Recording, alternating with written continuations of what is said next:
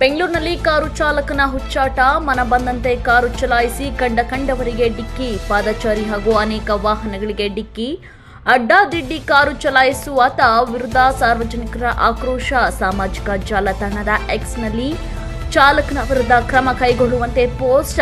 ಇದೇ ತಿಂಗಳ ಇಪ್ಪತ್ತೊಂದರ ಬೆಳಗ್ಗೆ ಎಂಟು ಮೂವತ್ತರ ಸುಮಾರಿಗೆ ನಡೆದಿರುವಂತಹ ಘಟನೆ.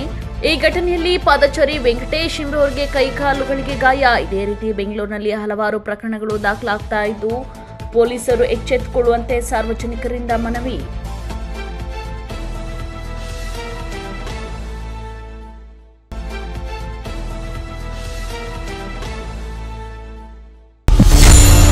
ಸಂಪೂರ್ಣ ಬಾಣಿ ನ್ಯೂಸ್, ನಮ್ಮ ನಡೆಗೆ ವಾಸ್ತವದ ಕಡೆಗೆ.